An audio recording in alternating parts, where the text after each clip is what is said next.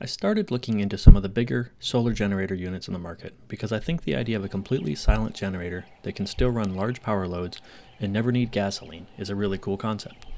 Whether it's needing to run a portable table saw, to tailgating or camping when the noise of a standard generator would just be irritating.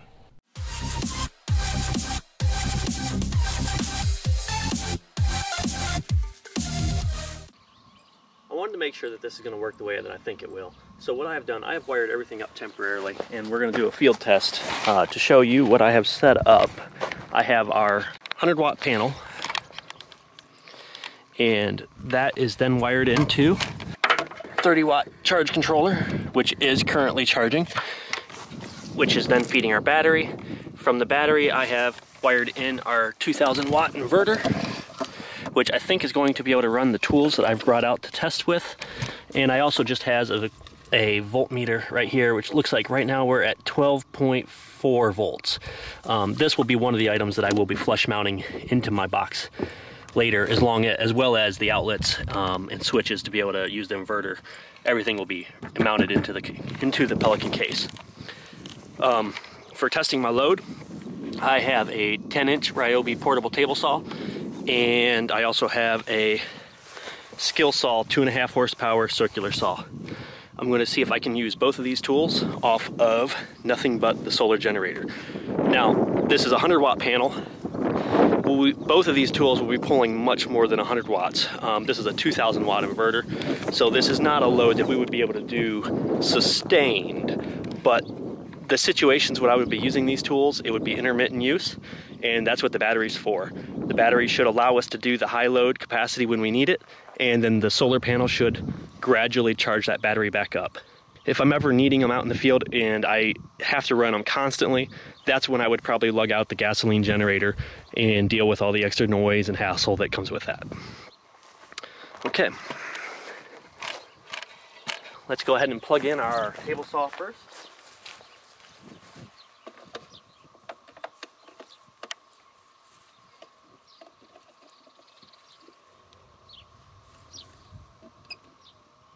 Power up our inverter and start up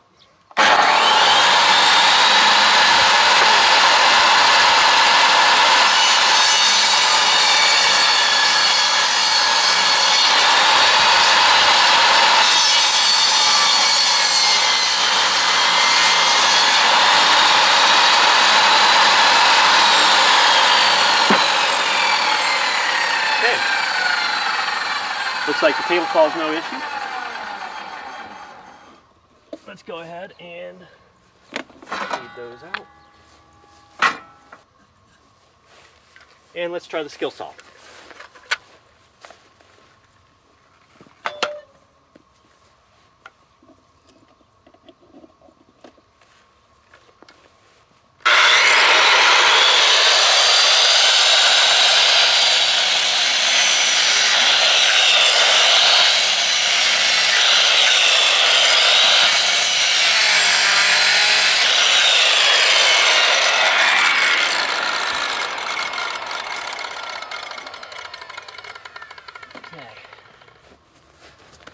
Looks like that looks like that worked excellent. I'm going to check my battery voltage to see, and we are now at 12.3. So we actually did not lose that much voltage. Let's go through the things just to see what we have. First up is the Pelican 620 case. This is going to be the case that we package everything into. It's it's a definitely a large case. Uh, I wanted to make sure that this case was big enough so that if we have to switch inverters later on, um, use different size batteries, whatnot. That we have a little bit of flexibility. It's got wheels on the bottom, so you can roll it around kind of like the airport bus. Has a handle on the back. Very rugged case. Uh, meets several military specs for, they claim you can't crush, it's dust proof, waterproof. It should be as durable as we need for anything that we're going to put our generator through. Um, it's got very heavy handles, on either side. That was an important thing to me, as well as a heavy handle on top. It's going to be a little heavy to carry like this. I imagine most of the time you'll be wanting to roll it around or with a partner, one on each side, carrying it by the handle on each side. That may make a useful way to carry this. It's going to be pretty heavy by the time we get both batteries in there. It is padlockable as well.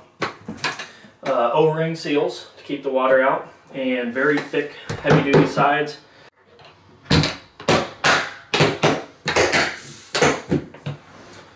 So that's the case. Next up is the battery. This is the Optima Bluetop model 8016, I believe it is. This is a AGM glass mat battery. It's the coil wound style. It is a true deep cycle battery, and a deep cycle battery just allows you to get a little bit deeper into the discharge before you're starting to shorten the life of that battery. It also has the ability to be mounted in any orientation. That's something that I thought was very important for my setup because it's going to be going into the case that'll be rolled around either on the wheels. It may at times be laid flat. I didn't want to have to worry about how the case was oriented. We wanted to make sure that the battery would be just fine whether the battery's on its side, on its back, or even upside down, as long as we have it mounted securely so that nothing shorts against our terminals. This battery does not care how it's oriented. Okay, one of the next major components for our build is going to be this Krieger 2000 watt inverter. This is actually a 4000 peak wattage 2000 watt continuous unit. It has nice mounting tabs on the bottom. It's fairly compact for the wattage that it has. It's got some large terminals on the back for our wiring. Um, it's got a active fan here for ventilation. The unit that I purchased comes with the uh, wiring with a, a nice fuse holder with fuse, uh, the negative cable. It also comes with a remote power switch. This is something that I really wanted to have.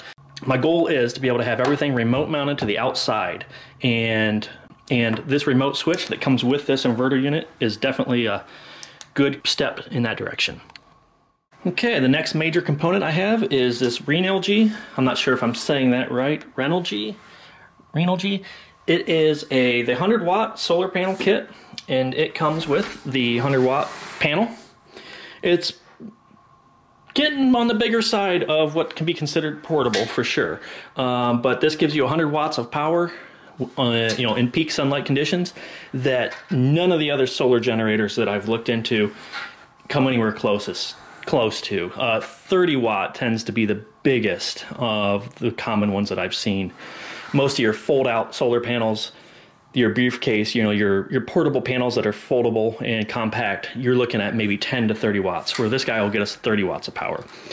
Now, there's nothing stopping you from hooking smaller panels up to the unit if you don't need that kind of power all the time and you just want to have a smaller panel hooked up to it and that's more portable for when you're out in the field.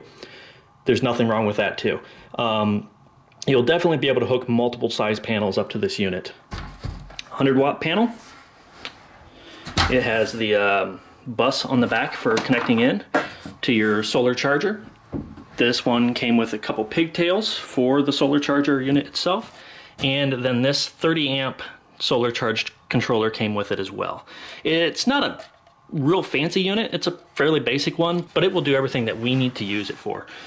It's also, because it is a 30 amp controller, it's pretty expandable. If you wanted to set up multiple panels, um, we would be able to do so. I believe you can run up to four of the 100 watt panels with this in a 12 volt system. Next up, I wanted to be able to charge our system off of standard AC power. This would be good for just keeping it topped off when it's in storage, or if it's you just want to charge up your batteries and you really don't have a place to be setting the panels out. So we picked up a one and a half amp battery maintainer slash charger. This is just a trickle charger. It will charge very slowly, so it won't be the best situation if your batteries are highly discharged. It's going to take a very long time to bring it back up. But what it will do is it will bring it up slowly, and it will keep the batteries in a healthy voltage for long-term storage. I also picked up a, I believe this is the Noco Genius brand, but this right here will be going into the outside of our box. Once this is threaded into our uh, enclosure, it'll fit flush and an extension cord will literally just pop right into that, pop it back out. So it'll be super easy to unplug or re-unplug in. So the goal being that if you were needing to take this in an emergency, all you'd have to run over is pull your extension cord out, close up the boot, and you're waterproof and ready to go. I also picked up two of these floodlights, and these floodlights are just LED we'll be able to run these for a very long time on our batteries and they will flush mount into our enclosure. I'm going to try to put one of them on the front and one of them on the top. The reason I'm going to do that is so that I can point this one by just turning the case the way we need to point the light. We can aim that light and use that as a work lamp. And the one that'll be facing upwards will work very well in, say, like a large tent or pavilion, someplace where you want to be able to cast that light straight up into the air and have it bounce back off of the ceiling. That should serve as good illumination for the area around the unit.